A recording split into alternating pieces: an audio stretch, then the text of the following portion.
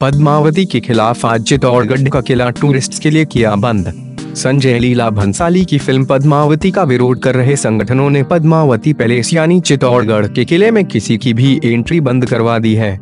हालाँकि, चित्तौड़गढ़ के एसपी प्रशांत कुमार खामसेरा ने बताया है कि राजस्थान की ऐतिहासिक धरोहर को ऑफिशियली क्लोज नहीं किया गया है। सिक्योरिटी के कड़े इंतज़ाम।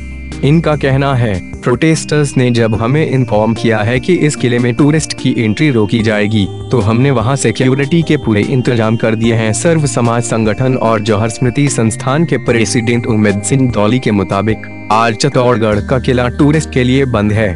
हम ये धरना लगातार आठ दिनों तक जारी रखेंगे, जो फ़िल्म पद्मावती पर बैन लगाने के लिए किया जा रहा है। किले के पदन पॉल गेट को बंद कर दिया गया है, जो आज शाम तक बंद रहेगा और किसी को अंदर किले में नहीं जाने दिया जाएगा। हालाँकि, यहाँ रहने वालों को नहीं रोका जाएगा।